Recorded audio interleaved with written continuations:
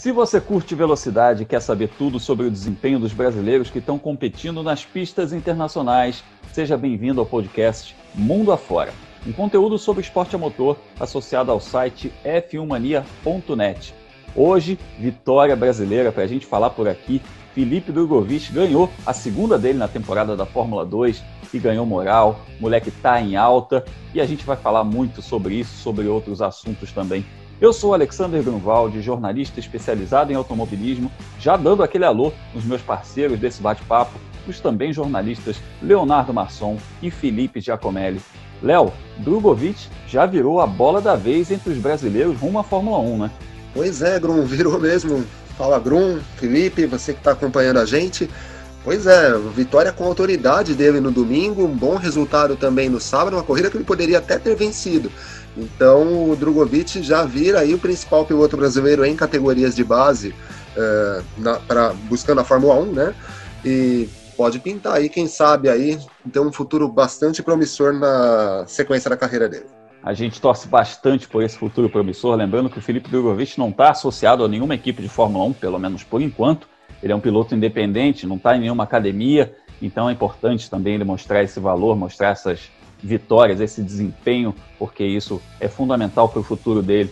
Ô Felipe, enquanto seu nosso querido Drogovic vai escrevendo, seu xará, Felipe Drogovic vai escrevendo a história dele com vitórias na Europa, do outro lado do Atlântico tem brasileiro que já tem o um nome na história das 500 milhas de Indianápolis, mas em 2020 pode selar uma marca ainda mais impressionante. Oi, Grum, oi, Léo, é isso aí. A gente não está no mês de maio, mas vai ter 500 milhas de Indianápolis e 500 milhas de Indianápolis é sinônimo de Hélio Castro Neves em busca de escalar mais uma vez o alambrado uma quarta vitória que colocar ele como um recordista da corrida. Lembrando também que o Tony Canaan, né, vai participar dessa prova, o outro brasileiro no grid, e tem um cara chamado Fernando, não sei se vocês conhecem, veio de uma campeonato, do campeonato aí de Endurance, que também pode ser um páreo duro para ele. Tal de Fernando Alonso, eu acho, né? Um rapaz que ganhou aí duas vezes Mônaco, bicampeão de Fórmula 1, ganhou duas vezes as 24 horas de Le Mans. É um currículo mais ou menos, né? Beleza. Não é o cara que veio do Dakar?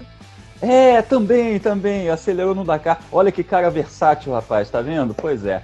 Vai ter Fernando Alonso, mais um adversário dos brasileiros nessa edição das 500 milhas de Indianápolis, que serão disputadas agora em agosto. É isso aí, então chega mais, porque a partir de agora vamos acelerar Europa, América, mundo todo, vamos acelerar mundo afora.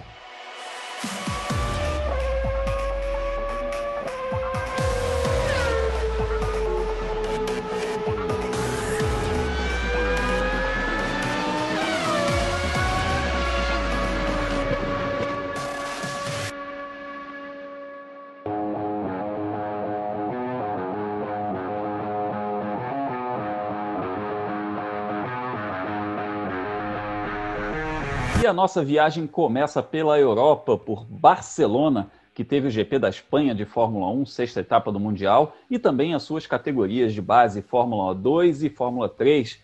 Se a corrida da Fórmula 1 não foi lá, essas coisas, foi um pouco sonolento até, não se pode dizer o mesmo da Fórmula 2 e da Fórmula 3, que são categorias que continuam fazendo corridas sensacionais, e nós tivemos duas ótimas corridas da Fórmula 2, que para nós, inclusive, teve aquele gosto agridoce para os brasileiros, porque na, na corrida de sábado, o Felipe Drogovic estava com uma estratégia boa e estava com um desempenho sensacional e com muitas chances de vitória, chances reais de vitória, e a equipe cometeu um erro que, que custou essa vitória, custou o pódio, ele chegou só em sétimo lugar. Só que no domingo, largando ali da segunda posição, com o grid invertido dos oito primeiros, o Felipe Drogovic venceu a corrida, mas venceu aquela vitória sangue nos olhos, sabe? Que largou e foi embora, ninguém viu, ninguém sabe, ninguém viu.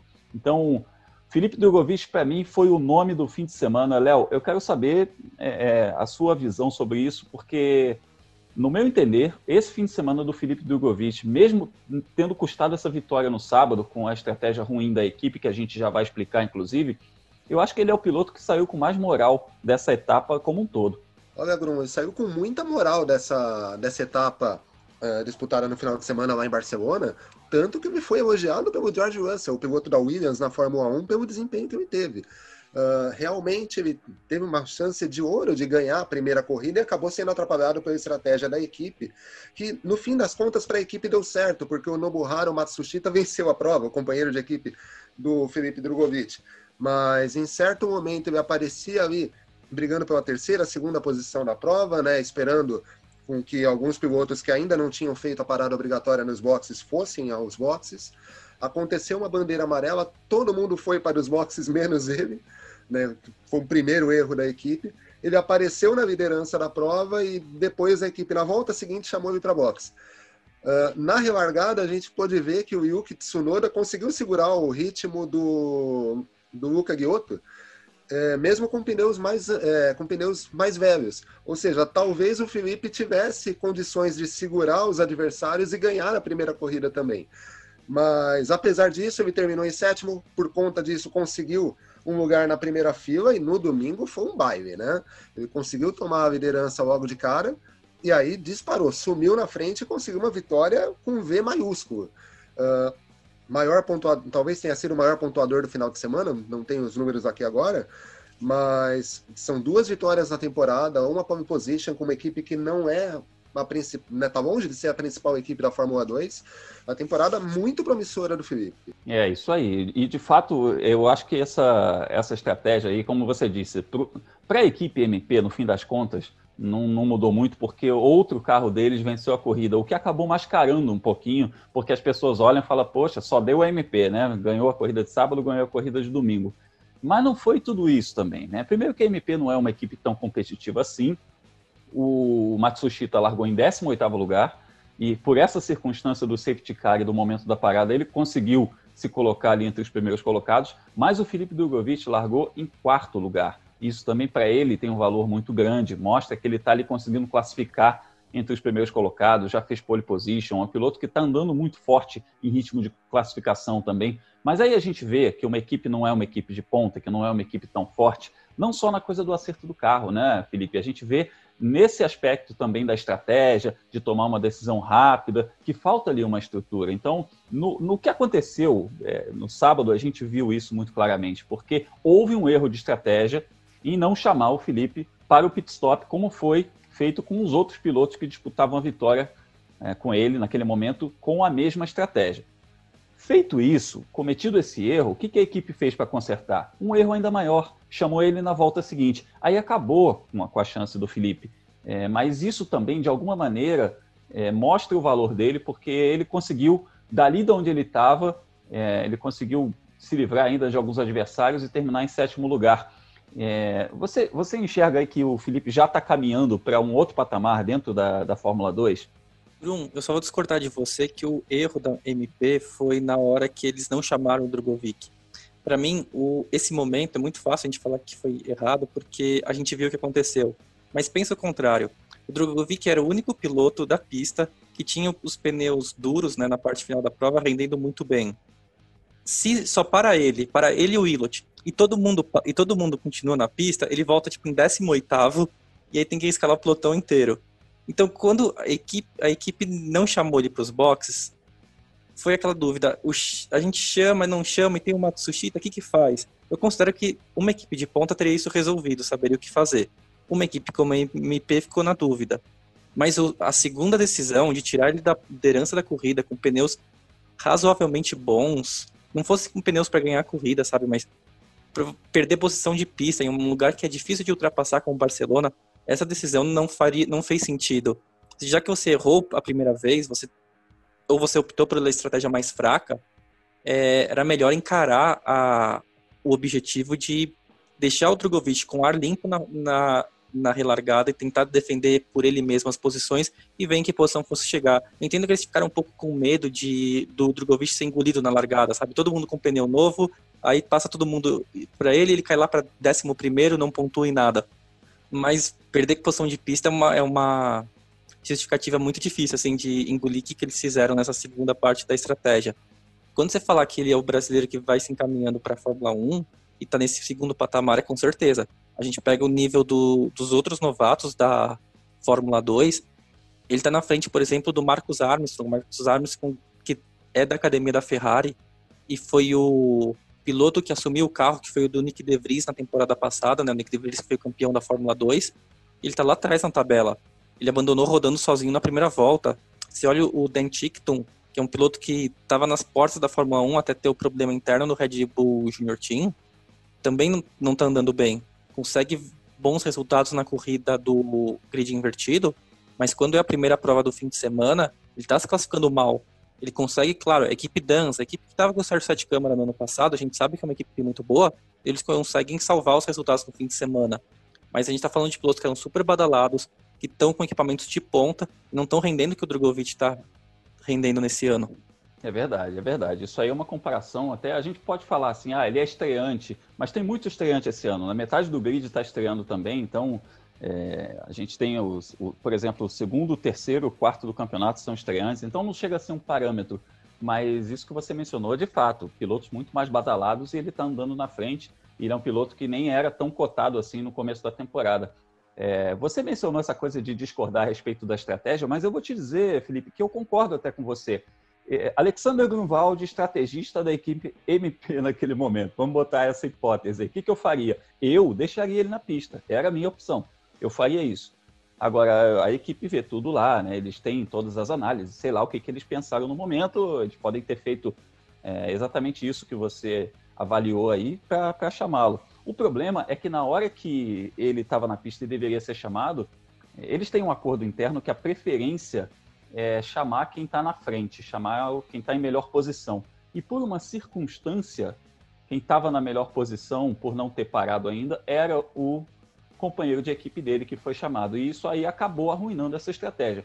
Feito isso, aí sim, aí é uma outra questão que a gente tem que mensurar de falar assim, olha, gente, não deu, não deu, não deu, não vamos fazer. Chamar ele na volta seguinte foi um negócio que, que para mim, foi a não estratégia. Existia aí a estratégia A, a estratégia B, e essa que eles adotaram foram a não estratégia. Fizeram um negócio terrível que custou muitos pontos para ele. E só para a gente ter uma ideia, o Felipe está com 67 pontos no campeonato, que é uma diferença de 54 para o líder, que é o Kylon Wilot. Mas se a gente pegar o Christian Lundgaard, que é o terceiro colocado no campeonato, essa diferença é de 20 pontos. Ou seja, é menos que uma vitória. O Felipe Drogovic poderia tranquilamente estar agora ali entre os três ou quatro primeiros do campeonato e está em oitavo. É por aí que a gente tem que observar o tamanho do erro da equipe MP. Vamos então ouvir o Felipe Drogovic sobre esse fim de semana em Barcelona com a Fórmula 2. Fala, Felipe. Bom, o final de semana foi muito bom em geral, é, desde a da classificação. É, a gente teve um bom quarto lugar e na primeira corrida o ritmo era muito bom. Foi, foi até segundo lugar, a gente parou no pit stop mais tarde do que os outros para fazer os segundos stint de, com os pneus mais duros, mais, com que eles fossem mais curtos, né? E e deu certo. É, eu tinha uma certa vantagem em comparação com os outros por causa disso. Então fui até segundo lugar, passei o segundo lugar e é, problema foi que deram o safety car na hora errada e, e todos os outros que estavam na, na, outra estratégia conseguiram parar sem perder nenhum tempo e, e colocar o pneu macio bem mais novo que o nosso. E até quem estava nas outras equipes também. O problema é que meu companheiro de equipe que estava nessa estratégia estava na minha frente, então eles não conseguiram fazer isso comigo. E depois, por causa disso, eu cheguei em sétimo, larguei de sétimo e, e larguei de segundo com o grid invertido dos oito primeiros e consegui uma ótima largada. Depois disso, o ritmo do carro era o mesmo de ontem, era muito bom, então é, dá para ver o passo para frente que a gente deu aí. É isso aí. E vamos para a próxima. Vamos para a próxima que tem Bélgica chegando aí, Felipe Drogovic tem muito a mostrar ainda, muito trabalho pela frente, a gente sabe, né? Uma Fórmula 1 não é simples. E a gente tem também que falar sobre os demais brasileiros que estão aí na Fórmula 2 e na Fórmula 3. Lembrando que a gente teve Pedro Piquet nos pontos, enfim, com, uma, com um desempenho mais condizente do que aquilo que a gente conhece do Pedro Piquet. Ele vinha com problemas na, na, nas etapas anteriores, ele não estava pontuando o carro da Charus parecia perder rendimento da metade para frente da corrida, e enfim o Pedro Piquet pontuou, fez um bom sétimo lugar. Léo, estava na hora, né, de chegar esse resultado do Pedrinho. Ah, tava na hora, Grum, tava na hora. Uh, a gente sabe da capacidade do Pedro, né? Ele já demonstrou isso em diversas categorias, inclusive na última temporada da Fórmula 3 Internacional. E acabou que não vinha, ele não vinha conseguindo né, ter o melhor ritmo com o carro da Charus. Nesse final de semana funcionou, ele conseguiu se classificar um pouquinho melhor. Uh, na pista, ele terminou nos pontos na primeira corrida, depois ele acabou tendo uma punição de 5 segundos que o derrubou para 14 mas ele teve um bom desempenho na segunda prova também. Uh, aos poucos ele vai pegando mais a mão desse carro da Fórmula 2, a equipe talvez comece a entender melhor a forma dele trabalhar, e eu creio, né, pelo menos quero acreditar, que essa parte final do campeonato, essa segunda metade do campeonato, ele tem um pouco mais de facilidade para chegar nessa zona de pontos. Uh, a Charus, assim como a MP, é uma equipe intermediária, não é uma equipe uh, de ponta na Fórmula 2, é, a gente tem que dar o desconto do Pedro também estar na primeira temporada dele na, no campeonato, mas pela capacidade que ele mostra, pelos resultados que o companheiro de equipe dele, o Eidemetra, tem, a gente sabe que dá para conseguir resultados melhores. E não é, né, não tem faltado empenho do Pedro. Talvez o equipamento tenha deixado ele na mão em algumas, em algumas etapas. Né? Vamos ver se ele consegue pontuar mais a partir dessa segunda metade do campeonato. É verdade, bem observado a comparação com o companheiro de equipe dele, que chegou a fazer pódio, inclusive. Isso mostra também o potencial da equipe e o potencial que o Pedro mostrou também nos testes de pré-temporada. A gente viu ele andando muito forte. Ele ficou entre os primeiros colocados no começo do ano no teste de pré-temporada. Então a gente espera que o Pedro retome esse desempenho, porque é muito importante também para a gente ter mais um brasileiro andando forte. Na Fórmula 2, a gente ainda tem o Guilherme Samaia, que ainda não conseguiu se encontrar com, o equipamento, ele está sofrendo muito com os pneus, é uma adaptação que está sendo muito difícil para ele. Lembrando que o Samaia vem de um ano e quatro meses sem pilotar nada, ele ficou parado quase um ano e meio, então, e deu um passo também de Fórmula 3 para Fórmula 2, que foi, foi muito grande, ele ainda não conseguiu se acostumar com esses pneus, ele está focado nesse momento em completar as corridas, ganhar quilometragem para ele poder ter um pouco mais de know-how a respeito desse carro. E na Fórmula 3 a gente também teve ponto de brasileiro, né, Felipe? Teve, Grum. Nossa, a gente gravou tantas vezes aqui falando que os brasileiros estavam batendo na trave, punição que tirou dos pontos, mas agora finalmente parece que eles estão tendo um pouco mais de consistência nos resultados, né? O Enzo Fittipaldi foi oitavo colocado na corrida 2 do fim de semana, que conta com o grid divertido, que esse ano passou a distribuir um pouco mais de pontos. Ele conseguiu somar ali o chegar ao 7 e o Igor Fraga, mais uma vez, teve problemas, chegou só em 18º nessa segunda corrida e não pontuou. Bruns, o que está faltando para eles, eu acho que é acertar um pouco mais a mão no sábado, né? Tipo, não depende, claro, só deles. O equipamento também tem que dar conta, não pode quebrar. Mas largando lá no fim do grid é muito complicado, você tem que passar muitos carros. E eles estão mostrando bom, bom ritmo de prova, né? Eles largam ali, talvez, para lá do 15, no caso do Igor Fraga, ainda mais atrás, pela limitação do equipamento, e a gente vê que tem, eles têm ganhado posição constantemente, né? O Enzo Fittipaldi tem mostrado que ele é um piloto que consegue fazer boas ultrapassagens, teve aquela na Hungria que foi muito bonita, e nesse fim de semana de novo ele conseguiu ganhar posições rapidamente. Acho que precisa acertar a mão no sábado, sendo um grid de 30 carros, é fundamental largar na parte de cima do grid, para pensar depois também é ser beneficiado pela regra do grid invertido, né? Terminar ali sétimo, oitavo e fazer igual o Felipe Drogovic está fazendo na Fórmula 2, de, de aproveitar esses resultados para transformar depois em pódios, ou quem sabe, né, vitórias, acho que é isso que eles mais querem. Isso aí, eu tenho analisado aí, eu tenho olhado os resultados e eu vejo o Enzo Fittipaldi aparecendo. Se a gente não está vendo eles no pódio, pelo menos a gente está vendo, por exemplo, o Enzo Fittipaldi como o melhor carro da equipe dele, HWA, é, o Igor Fraga também fazendo bons desempenhos em relação aos seus companheiros de equipe, porque o Igor, eu não estou lembrando qual foi a etapa, eu acho que foi a uma das etapas de Silverstone, que eu olhei o grid de largada, a equipe do, do Igor, que é a Charus, que por coincidência a mesma do Pedro Piquet, estava com os três pilotos, 23º, 24 e 25 É uma coisa... Né, não, é, não é uma questão a respeito do piloto especificamente. A gente está vendo que a equipe não, não se acertou. E é bom a gente ver que, em relação aos companheiros de equipe, que, que são um parâmetro natural no automobilismo como um todo, eles estão se sobressaindo. Então, beleza. De Barcelona. Oi. Uma coisa. Diga. É, o Grum, quando você fala da Charus, no caso da Fórmula 3, a gente também lembra que eles são três novatos, né? Acho que é a única equipe que está com três pilotos que não tem muita experiência na categoria.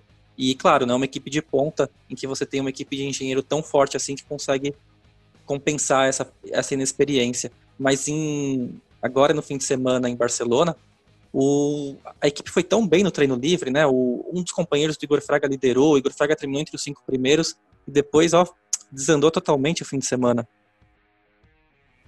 Pois é, né? Pois é. A gente tem que levar em consideração também que essa categoria escola, ela é escola também para quem está fora da pista, engenheiros, mecânicos. A gente percebe muito isso pelos pitstops da Fórmula 2, né? Quando tem pitstop, eu sempre levanto do, do, do sofá. Eu já olho com um pouco mais de atenção, porque a gente sabe que pode uma porca pode soltar ali, uma roda que não encaixou direito. A gente percebe isso muito na Fórmula 2 também, que o pessoal também está se graduando.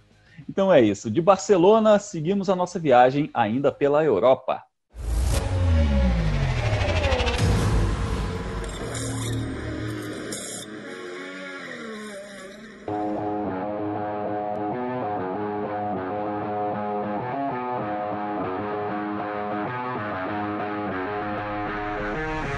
Barcelona a gente viaja para a Bélgica, Spa-Francorchamps, onde tivemos a etapa do Mundial de Endurance quatro brasileiros na pista: Bruno Senna, Augusto Farfus, Felipe Fraga e André Negrão, em três categorias diferentes, três classes diferentes, dentro do Mundial de Endurance e Pole Brasileira. Bruno Senna no, no time, na tripulação que fez a pole position, mas essa pole não se converteu em vitória. A gente sabe que existe um regulamento na classe LMP1, onde o Bruno Senna compete, em que os carros híbridos acabam tendo um pouco mais de vantagem e por mais que ele tenha tido em velocidade pura o carro da Rebellion, que é a equipe dele, tenha conseguido essa pole position, na corrida esses carros híbridos acabam sobrando e foi primeiro, segundo lugar para a equipe Toyota com seu carro híbrido, seu protótipo, e o Bruno Senna ficando na terceira posição. Felipe, a gente tem uma, um cenário hoje em que não dá mais praticamente para a gente sonhar com o título do Bruno Senna. A gente até falou lá no início do ano, quando estavam ainda revendo o calendário, essa coisa toda, de que o ainda dava para sonhar com esse título. Agora com essa dobradinha da Toyota fica um pouco mais difícil, mas a gente, sendo realista, a gente sabe que não era é, um, um, equipamento para o Bruno sonhar com título, né? Mas aqui ali, um resultado ali, uma vitória aqui, a gente, a gente fica sonhando um pouquinho, né? Bruno, nesse ano o Mundial de Endurance ele mudou um pouco o regulamento, aquele a equalização dos carros, né? O balance, balance performance. of performance. Isso ele não é feito mais a partir de para equalizar. Ele é feito para compensar as fraquezas de um carro. Então, se o Toyota ele é muito bom, aí, na, aí eles fazem uma conta e na corrida seguinte, a vantagem que o Toyota tinha, eles começam a perder. E aí, nisso, o Rebellion, e enfim, se tivesse outros carros na né, LMP1 de maneira consistente, eles andam melhor, né? Porque o Toyota está sendo freado. E aí, se o Rebellion ganha, aí é o Rebellion que é freado e o Toyota é quem dispara. E aí se equilibrou o campeonato. O Bruno andou muito bem na questão da.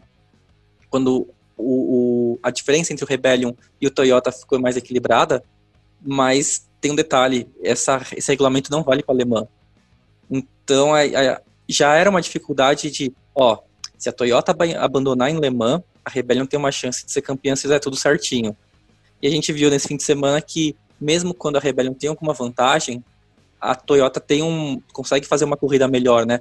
O, o próprio Bruno Senna e o Norman Ator, eles falaram, né, o Norman Ator, que é o companheiro do Bruno Senna, que eles não tiveram um desempenho tão bom na pista molhada no fim de semana como a Toyota teve. E era uma, era uma corrida em que era para a Rebellion ter ganhado em condições normais e tentado diminuir a diferença.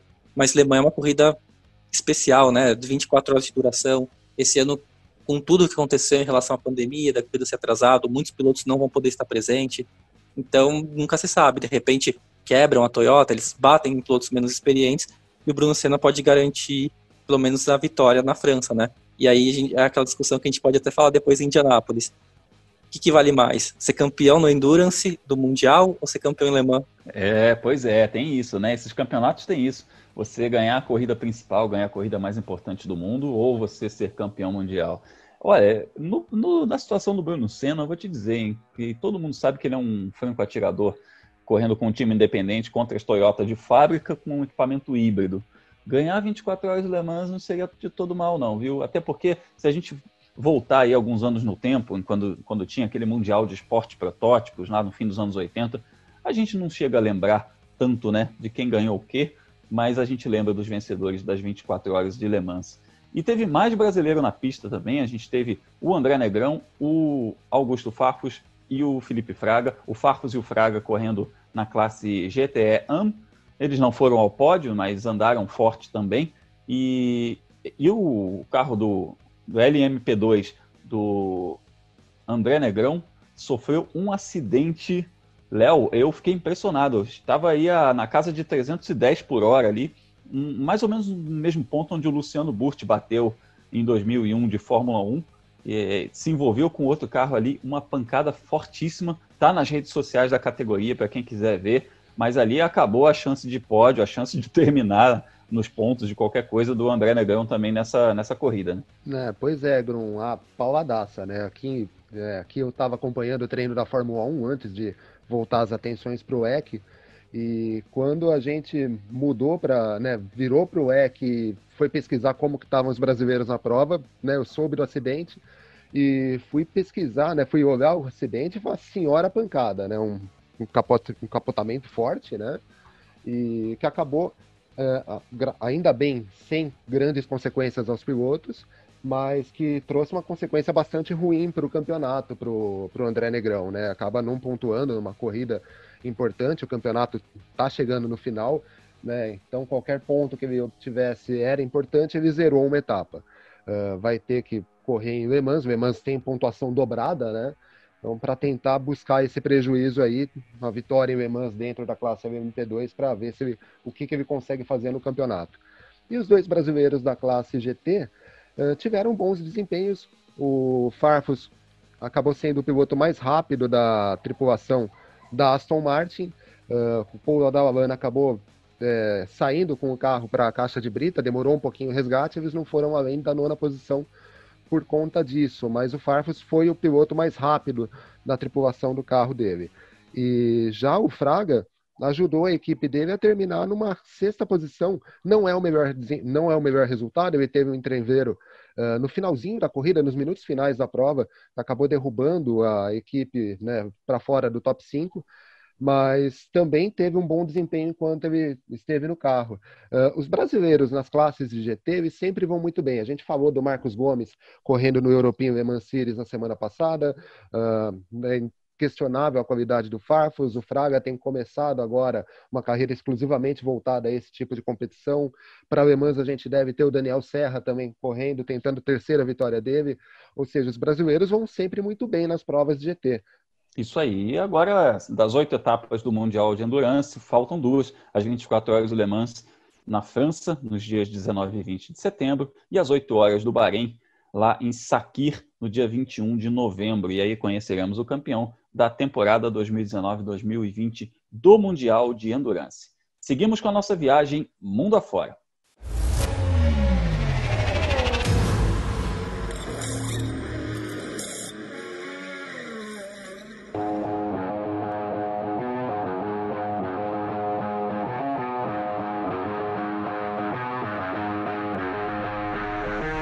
E da Europa nós voamos para a América, América do Norte, Estados Unidos, Indianápolis, que teremos aí as 500 milhas de Indianápolis, dia 23 de agosto. Nossa, 500 milhas de Indianápolis em agosto, pois é. O mundo não é mais como era antigamente. A gente se acostumou com as 500 milhas em maio, mas veio aí a tal da pandemia e ela teve que ser adiada, essa corrida lendária teve que ser adiada, assim como aconteceu com as 24 horas do Le Mans, que são sempre no mês de junho e serão disputadas aí em setembro, a gente vai ter as 500 milhas de Indianápolis em agosto, com participação de dois brasileiros, o Hélio Castro Neves e o Tony Canaan.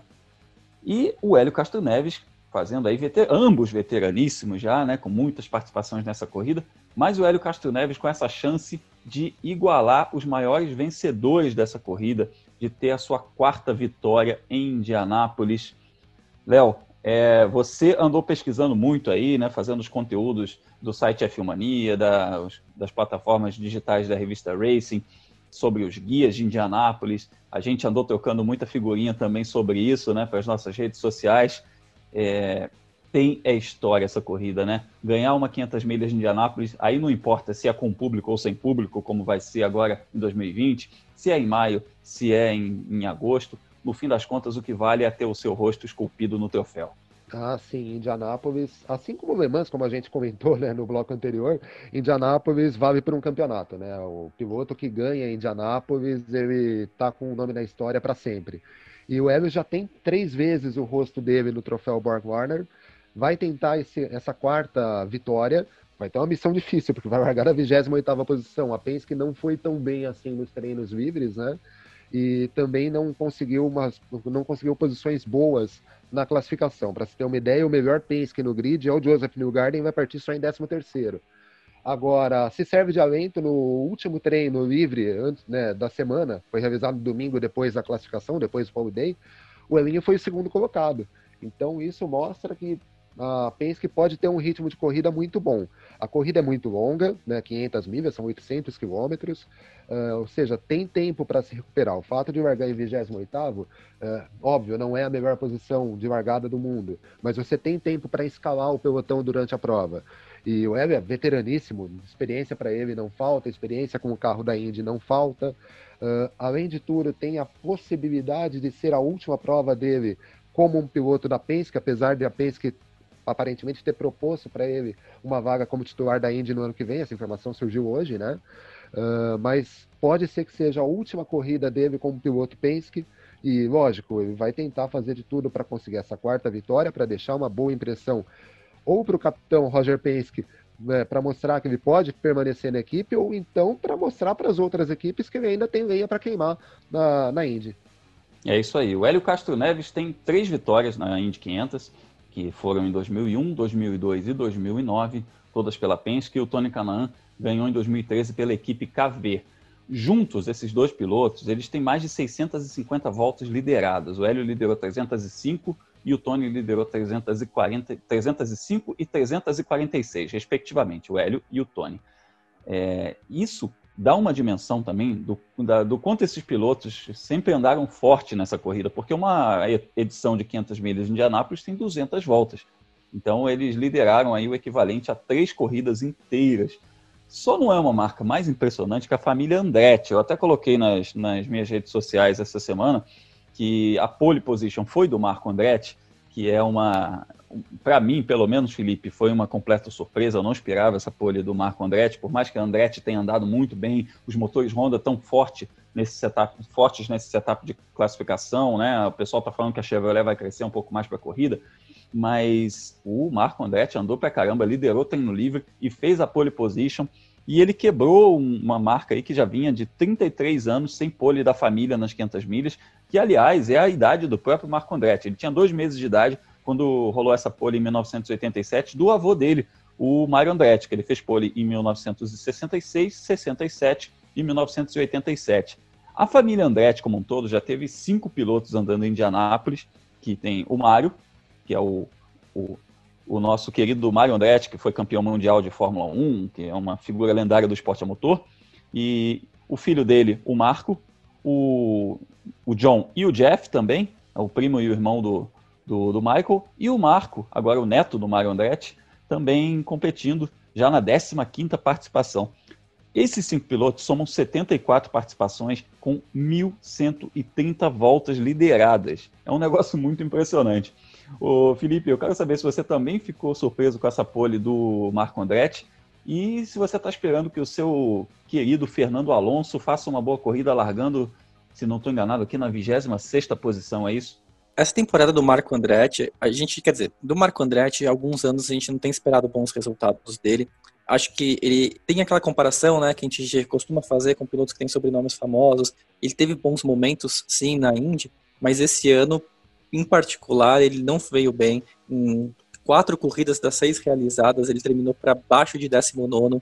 Então, e olha que eu tô falando de um grid que mal tem 25 carros, né? Então, para baixo de 19 é realmente muito atrás. E então a gente ia para Indianápolis e começou a ver o Marco Andretti na frente, foi uma surpresa muito grande. Mas ele é um piloto que anda bem em Indianápolis e a Andretti tem um bom acerto, né? O Will Power deu uma entrevista nessa semana falando que para classificação já era, né? A Penske não tinha chance, a Chevrolet não tinha chance não, mas na corrida as coisas tendem a ficar mais igualadas. E agora a gente tem que ver se o Marco Andretti ele vai conseguir manter essa vantagem, porque vamos voltar ao assunto do Felipe Drogovic, é bom estar na frente porque você tem a vantagem do ar limpo, você, tem, você se envolve em menos acidentes. Isso a MP perdeu lá, mas o Marco Andretti vai ter nesse fim de semana a chance de, quem sabe, né, quebrar a maldição da família Andretti e, enfim, conquistar uma vitória, algo que o pai dele nunca conseguiu em Indianápolis.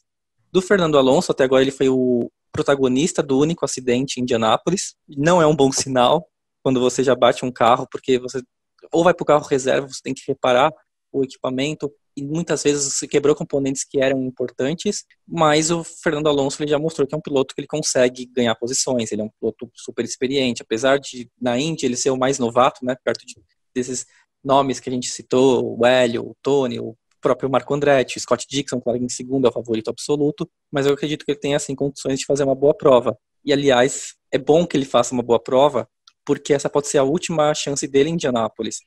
Ele, ele vai voltar para a Fórmula 1 a partir do ano que vem, e a expectativa é que ele só possa voltar a Indianápolis quando terminar o contrato dele com a Renault, né? Então a gente está falando de 2023. Não sei se em 2023 ele vai ter o mesmo preparo físico, o mesmo ânimo que ele tem hoje. Então é bom já decidir por agora, né? Se ele quer a tríplice coroa, chegou, ao, chegou o momento, é esse domingo que ele, precisa, que ele precisa buscar e conquistar. É isso aí, é um grande estrelado e eu vou te dizer, cara, não, é meio que não dá para não torcer por essa tríplice coroa. É, a gente vê a história sendo escrita, a gente viu o Alonso vencer duas vezes em Le Mans, vencer Mônaco, ser campeão mundial de Fórmula 1, ser campeão mundial de Endurance e até se aventurou no Dakar, como vocês falaram na abertura.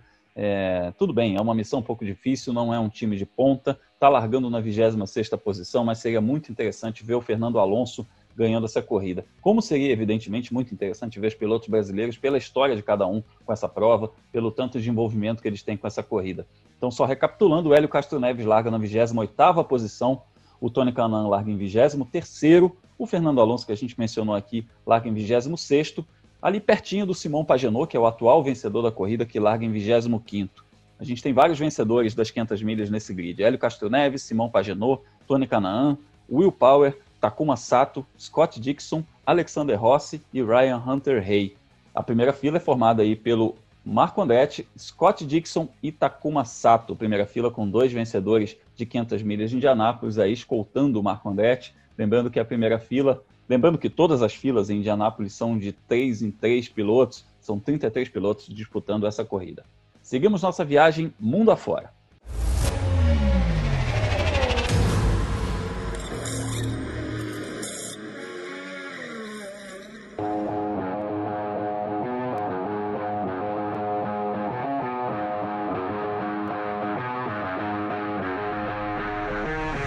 Antes de encerrar esse podcast, eu convido você a interagir conosco nas redes sociais, também apreciar nossos conteúdos sobre esporte a motor. Eu, Alexander Grunwald, estou no ar pelo YouTube no canal Fórmula Grum, trazendo bastidores do esporte a motor, também muita, muita análise, muita opinião. Temos lá o quadro Mundo Afora, falando dos brasileiros que competem no automobilismo internacional. O Leonardo Masson escreve no site F1 Mania e também nas plataformas digitais da revista Racing. O Felipe Giacomelli fala do mundo do automobilismo no blog World of Motorsports. Amigos, destaques finais. Fim de semana tem mais velocidade para a gente, né? Pois é, Grum. A gente falou aí das 500 milhas de Indianápolis, a gente não pode esquecer das categorias de base da Indy que também correm em Indianápolis esse final de semana. A Indy Lights não está fazendo a sua temporada né, esse ano por conta da pandemia, então não teremos a tradicional, também tradicional 100 milhas de Indianápolis na pista de 2 milhas e meia, mas no Lucas Oil Raceway, que é um ovalzinho de 1.100 metros, a gente vai ter a etapa da USF 2000. Essa categoria, a categoria de entrada do Road to Indy, conta com dois pilotos brasileiros. O, Dudu Barrichello, né, filho do, do Rubens Barrichello, e o Kiko Porto. Uh, os dois vão disputar essa prova, vem fazendo o campeonato inteiro lá na USF 2000, e a gente vai torcer por bons resultados deles. Bom, quem quiser me seguir nas redes sociais, pode seguir, é, pode procurar por Leonardo Marçom tanto no Twitter, quanto no Facebook, quanto no Instagram. E a gente sempre aproveita para pedir que vocês enviem para a gente os recebidos, né? A gente já está na 15 edição e não recebeu nada até agora para postar nas redes. Pois é, né? É a crise, é a crise. São tempos difíceis para os patrocinadores, acontece. a gente vai ter brasileiro aí no Road to Indy, mas também vai ter brasileiro rumo à Fórmula 1 lá na Europa, né, Felipe? O Bruno, o Léo, a gente são uns influenciadores muito ruins, né? Porque a gente tá pedindo Bibo faz o quê? Um ano quase, e chegou data. Mas voltando pro assunto, vai ter mesmo. Meu destaque final é para o Gianluca Petekoff, que vai para a segunda etapa da Fórmula Regional nesse fim de semana. E lembrando que ele tem um adversário duríssimo, né, que é o Yuri Vips, do Red Bull Junior Team, que está que tá correndo nesse campeonato para somar os pontos da superlicença. Mas olha, na primeira etapa ele decepcionou, andou lá atrás. E se depender desse, desse campeonato para conseguir a superlicença, pode ser que o documento não vai vir. Mas a gente falar disso, o que a gente quer ver mesmo é ele e o Petekoff, os dois brigando pelas primeiras colocações, para a gente ver mesmo o brasileiro andando bem contra um adversário muito forte, mostrar que ele tem condição de chegar nas principais categorias do automobilismo mundial, principalmente a Fórmula 1, é claro. E falando nas principais categorias do automobilismo mundial, eu escrevo sobre elas no meu site, na né, World of Motorsport, você pode encontrar por felipejacomelli.com, e nele tem a agenda da velocidade, com os horários, os resultados e onde assistir as corridas do fim de semana.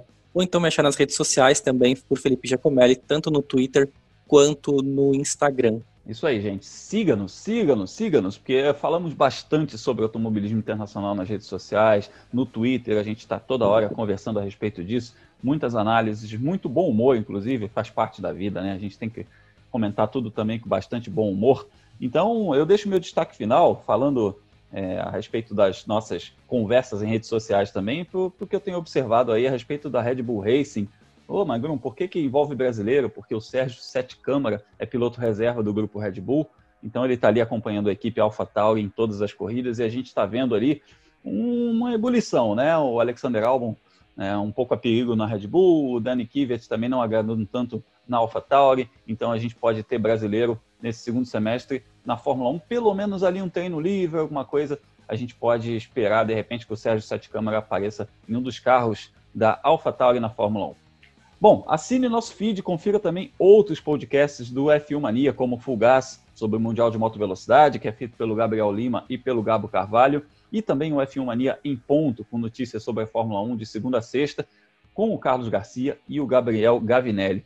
Amigos, forte abraço para vocês, Léo, Felipe, abraço para você que está nos ouvindo. Fique ligado aí, 500 milhas de Indianápolis nesse fim de semana, grande corrida para quem gosta de esporte a motor. E na semana que vem a gente está de volta com mais uma edição do Mundo Afora. Até a próxima, valeu!